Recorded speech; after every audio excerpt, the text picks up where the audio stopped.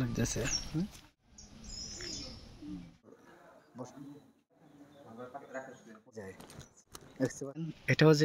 স্থাপনা আছে আসসালামু আলাইকুম কেমন আছেন? তো বন্ধুরা আজকে আমি এই যে রওনা দিচ্ছি একটা জায়গায় যাব। এটা হচ্ছে গা আমাদের কিশোরগঞ্জের একমাত্র জীবিত জমিদার। এটা হচ্ছে কিশোরগঞ্জের মানববাবুর বাড়িতে যাব। ওনার বাড়িতে ঘুরে ঘুরে দেখব। ও পুরান স্থাপনাটা আছে, ও বাড়িটা, ওইটা ঘুরে দেখব, পরে একটা পুকুর আছে, পুকুরটা দেখব, ওনার বাড়ি ঘুরে দেখব, যদি ওনাকে পাই, ওনার সাথে কথা বলব। আমি কথা বাড়াবো না, আমরা এখন রওনা দিচ্ছি। চলেন, আমরা এখন কিশোরগঞ্জের গাঙ্গাটিয়া মানববাবুর বাড়িতে উদ্দেশ্যে রওনা দিই, চলেন। আমরা বাইকে করে রওনা দিলাম, আমরা এখন লতিপুর পার হয়ে স্বাধীন বাজার পার হচ্ছি। এখান থেকে আর তিন কিলোমিটার দূরে গাঙ্গাটিয়া জমিদার বাড়ি। বেয়ার্স আমরা এতক্ষণ জার্নি করার পরে চলে আসলাম কিশোরগঞ্জ হুসেনপুর উপজেলায় গাঙ্গাটিয়া বাজারে। আমরা এখন আছি মূলত যে মানবাবুর বাড়ির মূল ফটকের মধ্যে আছি। আমরা ভিতরে ঢুকবো, আপনাদের ঘুরে ঘুরে দেখাই পুরো বাড়িটি ও ভিতরে পুকুর আছে বা অনেক কিছু আছে, সবগুলো দেখানোর চেষ্টা করব। যদি ওনাকে পাই, ওনার সাথে কথা বলব, ওনাকে না পাই, তারপরে শুধু দেখে চলে আসব। আমরা আজকে এখন পূজার সময় আসছিলাম তো, তাই মোটামুটি দোকানপাটও আছে সব কিছু খোলা লোকজনও আছে। আমরা কথা বাড়াবো না আমরা ভিতরে ঢুকি ও স্থাপনা ঘুরে ঘুরে দেখাই। চলেন। বিয়ার্স দেখতে পাচ্ছেন, আমরা মেন গেট দিয়ে প্রবেশ করছি ভিতরে। স্থাপনাটি অনেক পুরাতন। আসেন আমাদের সাথে আসেন, আমরা দেখাই। আমরা ঢুকছি ভিতরে। তো সুন্দর পরিবেশ, কত মনোরম পরিবেশ, দেখতে পাচ্ছেন। দেখা, একটা সময় ছিল এখানে মানে মানুষ ঝুমঝুম করতো, জমিদার বাড়ি, জমিদার বাড়ির মতোই লাগতো। এখন এটা ব্যাপারটা পরিত্যক্ত মতো হয়ে গেছে।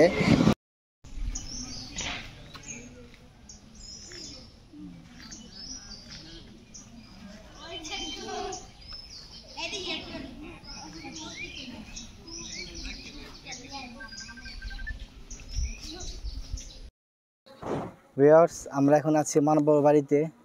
দেখতে পাচ্ছেন আমার পিছনে যে ওই যে বড় বাড়িটা, এটা মূলত ওনার, উনি এখানে বসবাস করেন। উনি বর্তমান জীবিত আছে, আর ওনার বাবা পাক বাহিনী ওনাকে হত্যা করেছিল। সামনে ওনার সমাধি সমাধি আছে।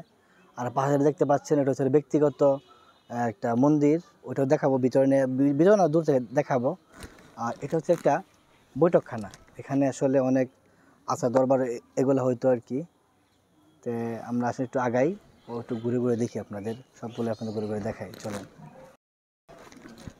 এটা হচ্ছে গা, ওনার ব্যক্তিগত দুর্গা মন্দির। দেখতে পাচ্ছেন ওনার ব্যক্তিগত দুর্গা মন্দিরটা? এটা শুধু ওনারাই ব্যবহার করেন, আর এটা হচ্ছে ওনার ব্যক্তিগত মন্দির।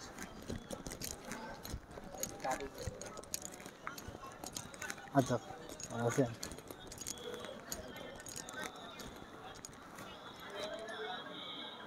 আমরা আসছিলাম, পূজার সময় আসছিলাম তো, এই জন্যই এখানে দেখতে পাচ্ছেন।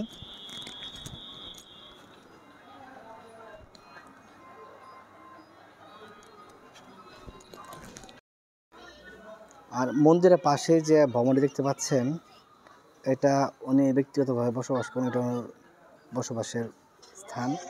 উনি বর্তমানে এখানে থাকেন এখানেই আছেন। ভিতরে অবশ্য প্রবেশ নিষেধ। এখানে যাওয়া নিষেধ। যে আপনার কক্ষ দরজা এটি এটি ঢোকা যায়। ভিতরে ঢোকা নিষেধ আমি একটু দূর থেকে দেখানোর চেষ্টা করতেছি আপনাদের।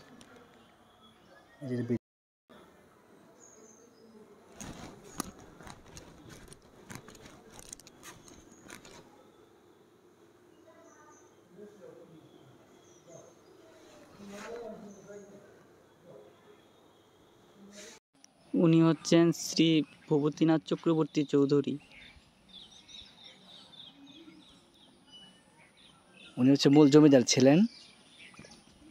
ওনার পাশে যে ছবিটি দেখতে পাচ্ছেন। এই যে এখন যে যাচ্ছি এটা হচ্ছে বর্তমান জমিদার। ওনার নামটা যেন কি? শ্রী মানবেন্দ্রনাথ চক্রবর্তী চৌধুরী। চৌধুরী। এবং দেখতে পাচ্ছি পিছনের যে উনি ওনার ভাই উনি মৃত। তপন চক্রবর্তী। এটা যেমন দেখতে পাচ্ছেন, এটা হচ্ছে একটি বৈঠকখানা। এটা একটা সময় খুব এখানে বৈঠক করা হইতো। বিভিন্ন আচার, সালিশ, বিচার, সব এখানে হইতো। আমরা এখানে বৈঠকখানার ভিতরে যাই। দেখতে গম্বুজগুলা। তো দেখলে মন জুড়িয়ে যায়। বৈঠকখানা।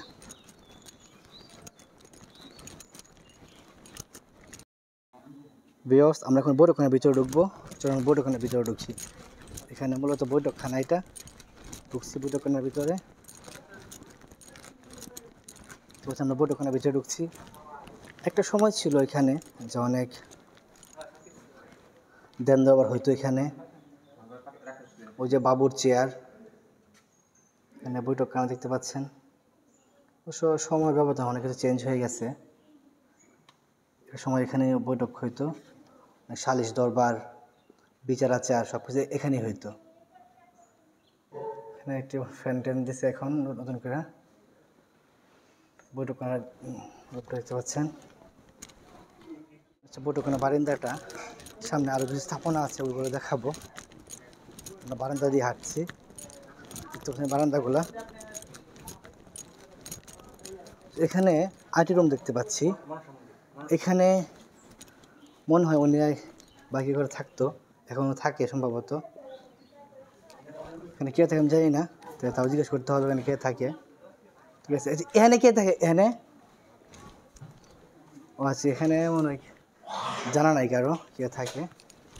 আমরা জানি না।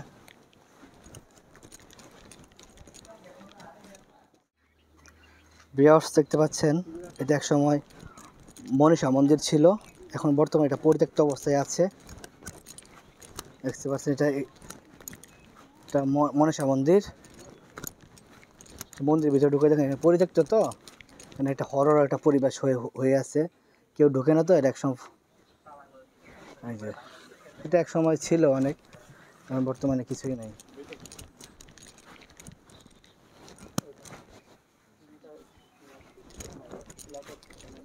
বর্তমানে বাড়ির পিছনের সীমানাটা দেখতে পাচ্ছেন, এটা হচ্ছে বাড়ির পিছনের সীমানা। এখানে পুকুর আছে, কিন্তু এখানে তাও আবার আর বাড়ির সীমানাটুকু শুধু গেলে আপনার এও দেওয়া রাখছে। ঠিক আছে? দেখতে পাচ্ছেন, এই যে এখানে একটা মানে পুকুর পুকুর আছে। এর ভিতরে পুকুরটা এটা, পুকুরটা কিন্তু অনেক বড়। কিন্তু অনেক বড় দেখতে পাচ্ছেন পুকুরটা। এটা পুকুর।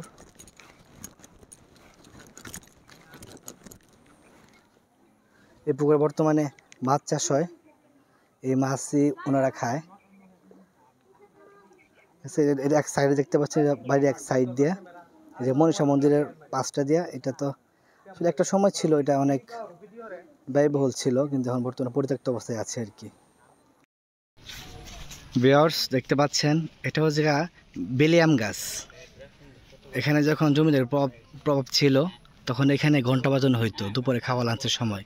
এখানে ঘণ্টা বাজাইতো, তখন সব, সবাই কর্মচারীরা ভিতরে বসে খাওয়া দাওয়া করতো।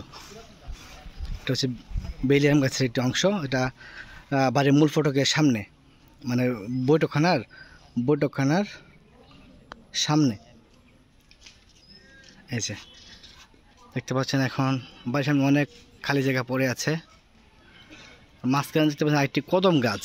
ও কত সুন্দর একটি কদম গাছ দেখতে পাচ্ছেন। এখানে সবাই যারা ঘুরতে আসেন টুরিস্ট তারা এখানে বসে বসে রেস্ট নেয়। দুটি বাচ্চা বসে আছে এখানে।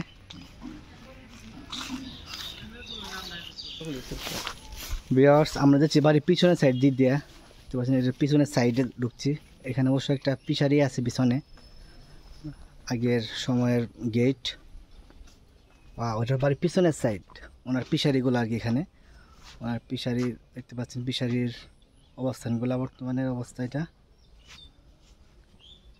এটা হচ্ছে পিছনের ওয়াল মানে ধসে যাচ্ছে ওয়ালগুলা সংখ্যা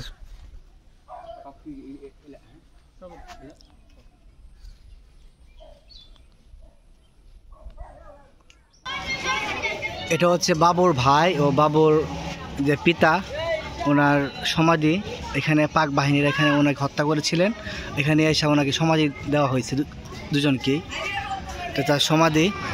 আর পাহাড়ে দেখতে পাচ্ছেন, এটা হচ্ছে আপনার শিব মন্দির। ওনার ব্যক্তিগত শিব মন্দির এটা, দেখতে পাচ্ছেন, শিব মন্দির। শিব মন্দিরের গেট গেট তালা দেওয়া, ভিতরে ঢুকে নিষেধ। ওই যে ভিতরে শিব মন্দিরের অংশগুলো দেখতে পাচ্ছেন আপনারা। হচ্ছে বাড়ির মূল ফটকের সামনে। বাড়ির মূল ফটকের সামনে দেখতে পাচ্ছেন এই যে এই যে বাড়ির মূল ফটক। আমরা আসছিলাম পূজার সময়, এখানে অনেক মেলার দোকান ছিল এখানে ভিওর্স এতক্ষণ আমরা এটা বাড়িটা ঘুরলাম, দেখলাম। খুব ভালো লাগল। তো আমি এখন ঘোরাঘুরি প্রায় শেষ প্রান্তে আমরা এখন বের হয়ে যাব। আপনার যদি আসতে ইচ্ছে হয়, আপনারা চলে আসবেন। এটা কিশোরগঞ্জ, হোসেনপুর থানার গাঙ্গাটিয়া গ্রামে। আপনারা আসবেন, গাঙ্গাটিয়া মানববাবুর বাড়িতে আসবেন, ঘুরবেন, দেখবেন। অনেক দর্শক যে আসতেছে প্রত্যেক দিন দেখার জন্য। আপনারাও আসবেন, ঘুরবেন, দেখবেন। ভালো লাগলে আমার ভিডিওটি সবাই শেয়ার করবেন। আসসালামু আলাইকুম।